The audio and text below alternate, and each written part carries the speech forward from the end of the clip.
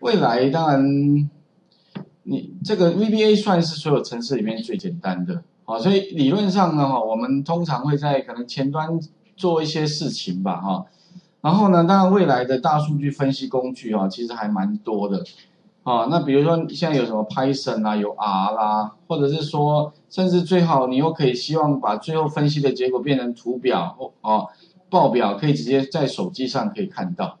然后就有同学常常会问说：“老师，那资料怎么样交换呢？”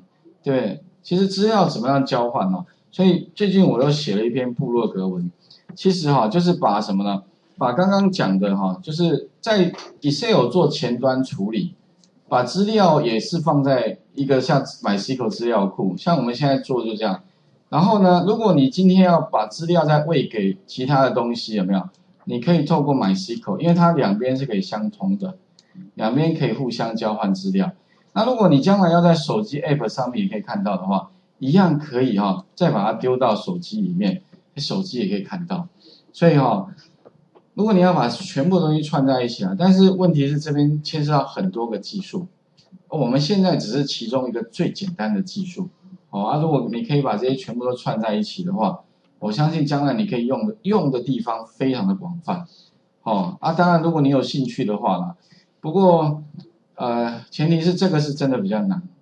好，后面部分，当然如果你有兴趣的话，我这边也做一些叙述啦。有兴趣同学你可以点进去。那我的习惯基本上哈，会先让你知道里面到底这个可以做出什么效果。好，然后呢，也许哈，你可以这边还有什么懒人包，你如果想要试着做做看的话，那嗯，也可以自己点击进去啦。因为像 PHP，如果你要学。呃，整个流程的话，我在我部落格里面呢，有把我之前上课的影片放在我的部落格里面，好，所以如果你有兴趣的话，那其他还有像那个怎么去做啊，相关的设定哈，其实我也把影片跟程式都放这里，所以如果有兴趣同学了哈，你可以慢慢学一学 VBA，把它设定一个目标，这个是比较后面的东西，有兴趣同学哈，可以自己再参考一下。那我是把它贴到我们那个论坛里面。OK，这边就有一个连接，好，理论上应该也会转信到你的信箱，哈。那当然是比较困难一点啦，不过可以是按部就班，也就是把前面的东西学学的差不多了，你慢慢再去接刚刚讲的东西，你会比较容易理解。但是如果前面的基础没打好的话，那后面的话听起来可能会更辛苦，哦。OK，接下来的话呢，我们再来看刚刚讲到就是有关那个自定函数部分，哎，可以按按钮。好，这些按按钮，然后呢，你也可以怎么样呢？我如果不按按钮，我希望怎么样呢？能够在使用者定义里面出现一个叫增减体重函数。那按确定之后呢，它只会跟我要一个资料，就是增减体重百分比给我一下。OK，给他喽，按确定，它会自动帮你怎么样返还你到底是标准还是不标准的结果。那利用这个自定函数的好处是，你的。这个公式会非常简单，不会像刚刚这么复杂，要什么 if 还有偶尔或 and 了啊等等的，你就直接给他一个什么增减比重百分比，它就会直接 return 一个结果，哎，告诉你，好 OK。不过呢，这个方选要怎么写哈？其实前面我们也做了蛮多方选的，那你大概要了解，就是说它一个整个流程有没有？基本上哈，你会发现哦，它第一个会跟你什么要一个资料，所以。你就增减体重百分啊，增减体重函数，它第一个会跳出这个格子，然后问你说，哎，你给我一个资料哦，那你点击某一个储存格之后有没有？它会借由这边有个引数哈，会自动帮你带到那个城市里面。那你在运用什么呢？你就利用这个引数所得到的值有没有？比如说零点二七五，好，后面一堆哈。那这个数字带进去之后做逻辑判断，OK，好，然后呢，最后返还结果到哪里呢？返还到增减体重函数这边，它会自动帮你再把结果丢到这个储存格里面，就完成一个方选的整个流程。所以感觉它好像是一个 cycle，哎，这样子绕一圈哈，哎，最后把值丢到储存格。那我们来看一下这个要怎么做啊？前面我们做过方选。那这个方选跟之前的方选呢，其实也没有太大的差别。第一个呢，你可能要先做什么哈？我们重来一遍哈。好，这个假设哈，我们第一个，请各位呢，先在哪个地方呢？这个哈，这个怎么做？Ctrl C 好了哈，插入程序里面，记得哦，我们如果是按钮是 Sub，如果你是制定函数，请你用 Function，OK。那名称的话呢，你就取叫什么？哎，增减体重函数哈。只不过这个名称不是固定的，你可以自己取。像之前同学说，老师我习我习惯用英文呐，可不可以？可以啊，没有关系。好，但是如果你这个名称改了，你将来 return 的那个前面的名称也要是这个名称哦。你不要像之前有同学说，哎，奇怪，返还回来怎么是零？我就看了一下，哎，你上面改名称，可是下面跟我一样，那就不对了哈。上面下面要一致哈。OK，按确定之后。那它会自动帮你产生一个什么呢？哎，像这样的方选，头一定是方选，尾一定是 end 方选。那名称在这里，后面一定会有个小刮弧。这个小刮弧呢是用来跟使用者要什么资料，就是引述了，引述哈，给他一些。那我要什么引述呢？哎，就是刚刚讲的那个增减体重百分比这几个字哦，偷懒一下，Ctrl C，好，然后把它怎么样切过来之后。放到这边来，好，这里用百分比，OK。接下来他给我了嘛，那我要怎么做呢？哎，做逻辑判断。所以基本上哈，那个逻辑判断跟刚刚的那个 sub 的逻辑判断哦，几乎一模一样，差别只有在那个没有回圈，好，所以呢，我习惯上是把上面写好的东西直接避开 for nest 的中间，把它贴到我们这边来。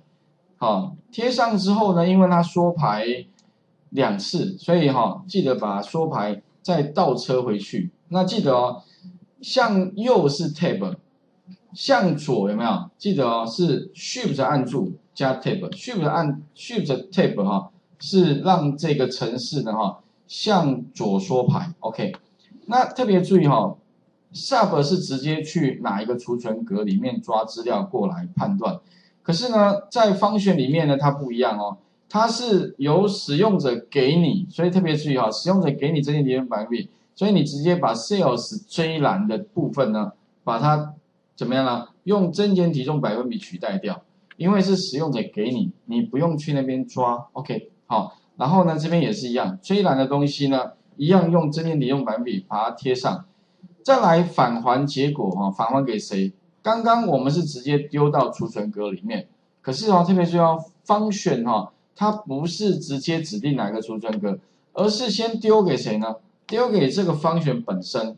那因为你游标停在某一个储存格，所以它又会把方选得到的结果再丢到那个储存格里面，完成这个流程。所以记得把 sales L 栏有没有把它改成什么呢？增减体重函数。那基本上程式就完成了，哦，哎，其实哈，怎么样，就拿上面来改。不过前提是你 sub 要写好了，如果你前提 sub 没写的话，那后面当然你就要自己重新写。不过那个逻辑是相似的哈，OK，好，那试一下，基本上做完之后哈，检查一下这个有没有有，好，OK，那进来之后判断一下，对，判断完之后呢，它会把不标准丢给这个函数本身。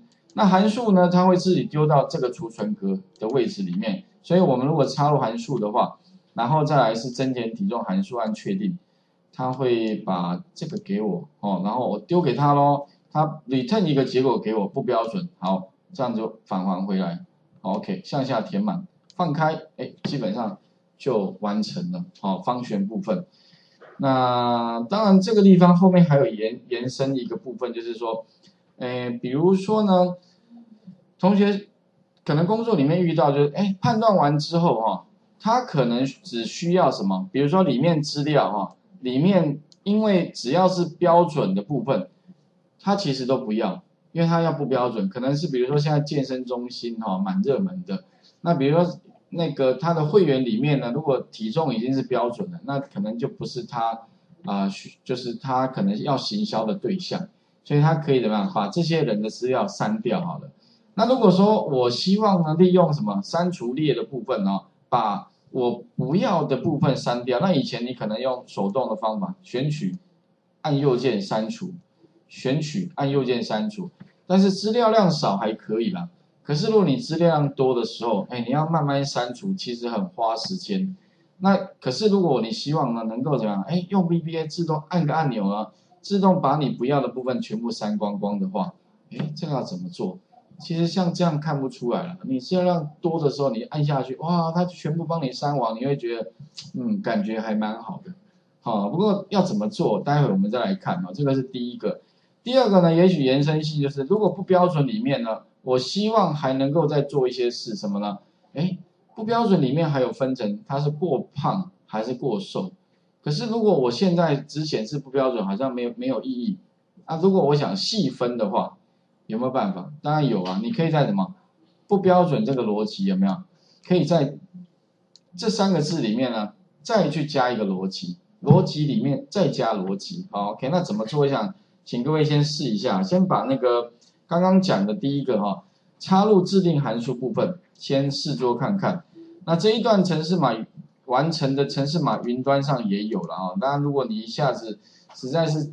记不太得的话啊，不过最好是自己手动做一下啊，尽量用理解的啦，因为理解，而且如果你从头到尾也做过一遍的话，我相信你会更熟悉这整个流程。